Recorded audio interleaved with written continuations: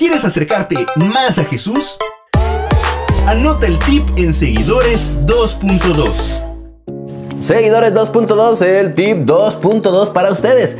Gaby, ya que estamos iniciando una serie en la cual estamos hablando de medidas que son necesarias para que se hagan cumplir los derechos, aquí tenemos algo.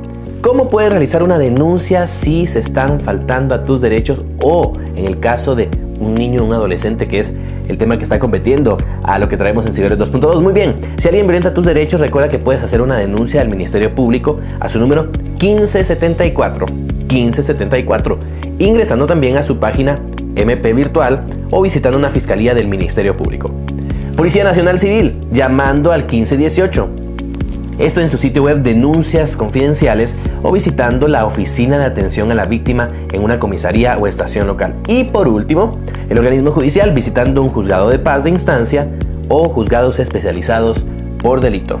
¿Tomaste el dato? De igual manera, ya lo sabes, en este programa habrá más información que te ayudará. Este ha sido el tip de Seguidores 2.2. Anota el tip en Seguidores 2.2.